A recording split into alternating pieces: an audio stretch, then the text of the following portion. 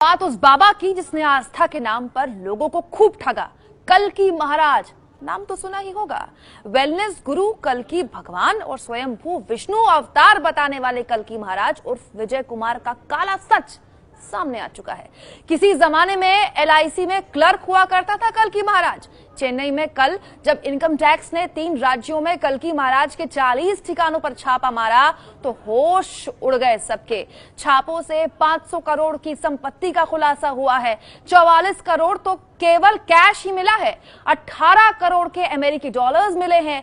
26 करोड़ की कीमत के 90 किलो सोना बरामद हुआ है। 5 करोड़ के हीरे मिले हैं। देखिए और सोचिए कैसे स्वयंभू कल की महाराज ने काले धन से अपने आध्यात्मिक आडंबर का श्रृंगार किया हुआ था। इनकम टैक्स को भनक लगी थी कि कल की महाराज की ट्रस्ट, कंपनियाँ कमाई तो खूब कर रही हैं, लेकिन टैक्स चुका नहीं रही। इसी पड़ताल में छापेमारी हुई तो अघोषित धन की वर्षा होने लगी। चौवालीस करोड़ रुपए कैश मिले हैं, केवल कैश ही मिला है कल की भगवान के काले साम्राज्य से। चौवालीस करोड़ का कैश अकूत संपत्ति 18 करोड़ के मूल्य के डॉलर मिले हैं, अमेरिकी डॉलर, जिनकी कीमत अगर लगाई जाए तो 18 करोड़ 26 करोड़ रुपए के 88 किलो सोने के जेवरात मिले हैं। आप बस गिनते जाइए, लिस्ट लंबी है, पाँच करोड़ के एक हज़ार दो सौ इकहत्तर कैरेट के हीरे मिले हैं। हीरे जवाहरात से लदे हुए महाराज हैं ये। 409 करोड़ रुपए के लेन देन की रसीदें मिली हैं। 409 करोड़। सोचिए जितनी की अघोषित संपत्ति, उससे ज़्यादा की लेन देन 500 करोड़ रुपए की अघोषित संपत्ति का पता चला है। कल की महाराज के पास 500 करोड़ की अघोषित संपत्ति है। ये जानकारी मिली है। कल की भगवान के काले साम्राज्य की तस्वीर, उसका पूरा आंकड़ा, उसका पूरा लेखा जोखा आपके सामने। काता संपत्ति है इस बाबा के पास। वेलनेस गुरु खुद को बताते हैं, लेकिन इनका पूरा प्रोफ़ाइल क्या है? ये भी समझ लीजिए, कौन है आखिरकार ये कल की गुरु? अब हम आपको ग्राफिक्स के ज़रिए ये भी समझा देते हैं, ये कल की गुरु है कौन?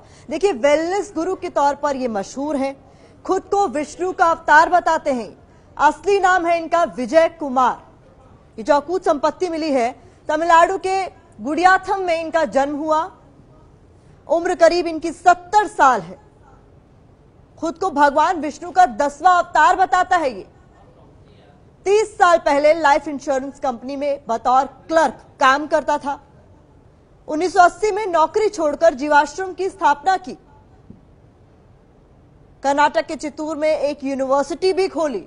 तो आप अंदाज़ा लगाइए, कैसे इसका पूरा ग्रोथ हुआ है? 1990 में खुद को विष्णु अवतार घोषित कर दिया। और उसके बाद लोगों को ठगता गया। आध्यात्मिक ट्रेनिंग के लिए देश विदेश में कई सारे आश्रम इसने खोले। रियल एस्टेट निर्माण, खेल में भी इन्होंने पैसे लगाए।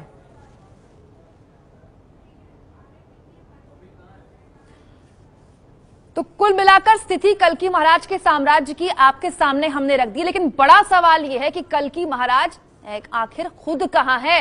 अपडेट लेंगे हमारी संवाददाता पिंकी राजपुरोहित से। पिंकी अकूत संपत्ति का पता चल गया। छापेमारी के बाद गिनने वालों के होश उड़ गए होंगे, लेकिन बड़ा सवाल यह है, महाराज साहब कहाँ हैं? देखिए, बिल्कुल, अब तक इसकी कोई जानकारी सामने नहीं आई है कि आखिर कल की भगवान जो खुद को भगवान बताते हैं, वो आखिर कहाँ पर है? लेकिन जिस तरह से इतनी बड़ी रकम जो है आईटी रेट के दौरान ये सामने है उससे एक बात ज़रूर सामने आ गई है कि किस तरह से जब लोग अंधे हो जाते हैं ऐसे बाबाओं की भक्ति में तो उनका धंधा जो है वो चमकने लगता है।